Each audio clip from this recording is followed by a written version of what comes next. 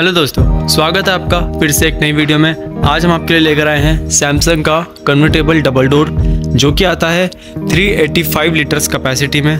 Video में आगे बात करेंगे इस फ्रिज के सारे फीचर्स के बारे में, कैसा ये फ्रिज है और क्या क्या अलग है अदर ब्रांड्स के कन्वर्टेबल से। तो चलिए वीडियो शुरू करते हैं। फ़िज़िकल व्यू में अगर हम एक्सटीरियर की बात करें तो सबसे पहले यहाँ पर सामने की तरफ़ आपको एक ग्लॉसी फिनिश देखने को मिल जाती है, जो कि एक मेटेलिक स्टील में आता है बट ये कोई प्रिंट है। ये प्रॉपर स्टील नहीं क्योंकि जो प्रॉपर स्टील होता है, वो आपका कभी ग्लॉस में नहीं होता। इसमें आपका ग्लॉस फिनिश आती है, ऊपर की तरफ़ लिखा है Samsung global number one selling refrigerators brand ठीक है?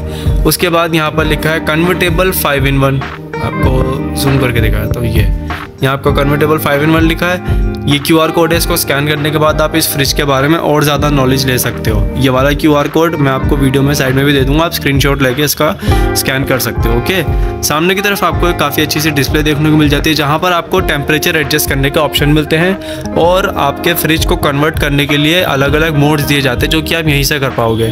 फ्रिज का टेम्परेचर फ्रीज़र का टेम्परेचर जैसे जैसे आप इसको ऑपरेट करोगे वैसे वैसे आपका ये कन्वर्टेबल मोड्स में कन्वर्ट होता चला जाएगा। यहाँ पर आपका लिखा है फ्रीज़र पावर फ्रीज ठीक है ना? इसको आप थ्री सेकेंड के लिए प्रेस करोगे तो आपकी पावर बढ़ जाएगी। फिर यहाँ पर लिखा है फ्रीज़र कन्वर्ट थ्री सेकेंड के लिए प्रेस करेंगे तो आपका जो फ्रीज़र है वो फ्रिज में कन्वर्ट हो जाएगा। उसके बाद लिखा है फ्रिज पावर कूल अगर आप इसको थ्री सेकेंड के लिए प्रेस करेंगे तो फ्रिज की जो पावर है वो और ज़्यादा इंक्रीज़ हो जाएगी मतलब और इन्हेंस हो जाएगी। ट्विन कूलिंग प्लस का इसमें आपको ऑप्शन देखने के लिए मिलता है। बाकी अगर स्टार रेटिंग की बात करें तो ये फ्रिज आता है थ्री स्टार रेटिंग के साथ, जो कि कंज्यूम करता है साल का 248 यूनिट्स पर ईयर ओके नीचे की तरफ़ आपको 20 ईयर्स की कंप्रेशर वारंटी देखने को मिल जाएगी। उसके बाद साथ ही साथ आप इसको होम इन्वर्टर से भी कनेक्ट कर सकते हो, जो कि क्लियरली वर्ड्स में लिखा हुआ है कि दो सी एफ़ बल्ब जितना ये बिजली लेगा, ये वाला फ्रिज उसके बाद इसमें स्टेबलाइज़र की रिक्वायरमेंट नहीं होती है, क्योंकि ये जो है मिनिमम 100 और मैक्सिमम 300 वोल्ट पर ऑपरेट होता है। 21 ईयर्स की रिलायबिलिटी वी के द्वारा इस फ्रिज को मिली है जो कि फ्रेम सैमसंग अपने फ्रिज में स्टिकर लगा कर देता है। साथ ही साथ यहाँ पर आप देख सकते हो कुछ की फीचर्स हैं जो कि सैमसंग अपने फ्रिज, इस फ्रिज में दे रहा है। सबसे पहले आपको अप टू 15 डेज़ की आपको फ्रेशनेस देखने को मिलेगी फ्रूट्स एंड वेजिटेबल्स में। सिक्स स्मार्ट सेंसर लगे हैं फॉर लॉन्ग लास्टिंग फ्रेशनेस आपको लंबी कूलिंग के लिए इसमें सेंसर्स दिए गए हैं। आठ हज़ार छः सौ चालीस रुपये आप सेव करेंगे साल का अदर ब्रांड के मुकाबले। Up to thirty one faster ice making इकतीस परसेंट तेज़ी से ये आपकी आइस को मेकिंग करेगा।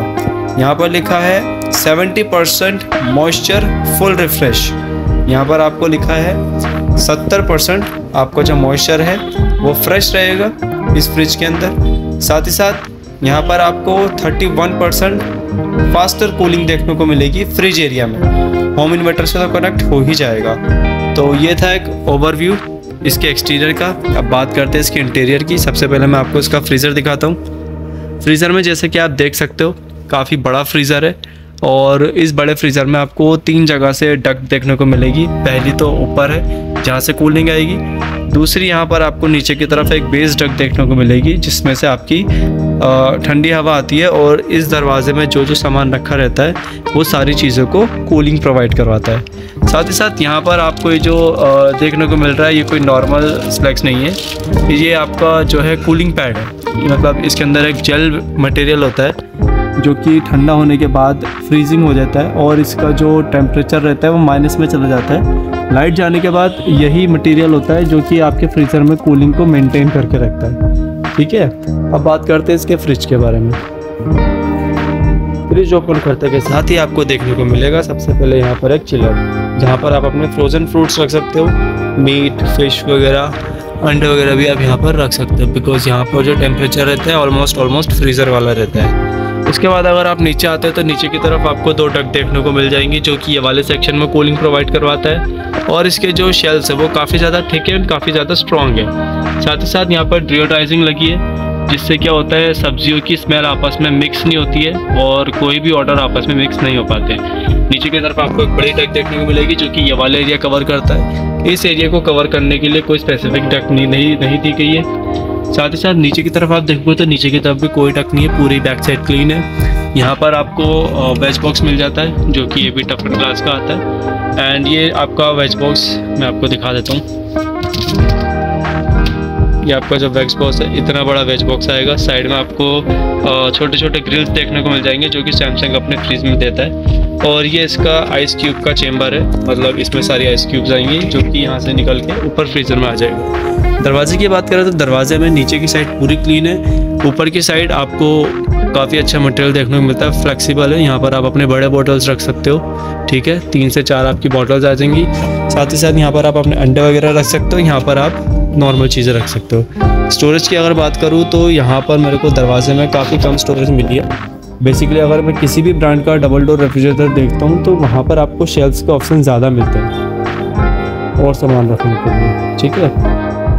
तो दोस्तों, ये था एक छोटा सा ओवरव्यू इस सैमसंग के सबसे बड़े डबल डोर का। वीडियो कैसी लगी वो बता देना। ठीक है कमेंट करके ज़रूर बताइएगा आपके फेवरेट प्रोडक्ट का नाम, ताकि नेक्स्ट वीडियो हम उस प्रोडक्ट को बना सकें। तब तक के लिए हमारे पुराने वीडियो देख सकते हैं।